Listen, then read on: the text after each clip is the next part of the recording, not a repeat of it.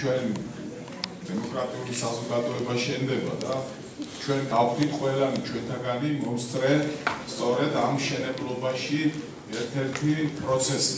და რა არის ეს პროცესი? პრაგმატული გადაწყვეტილება, რომელიც მიიღო ხელმძღვანელობა, კონკრეტულად ვინც ხელმძღვანელობს აი ამას და ხალხის აზრი. აი სწორედ ეხა დიდი პრაქტიკა მიიღეთ ახალგაზრდებო იმისთვის რომ სწორედ რა არის დემოკრატიული წყობა და საიდკერმიდის საქართველოს. თქვენ მიიღეთ პრაქტიკა.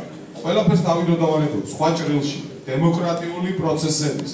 აი ასევე თქვენ განმოგეცემათ ეს ესტაფეტა ამ ქალაქის მართვის, ქვეყნის მართვის და მოდით ასე გამარჯვებულებს გევლოთ ყოველთვის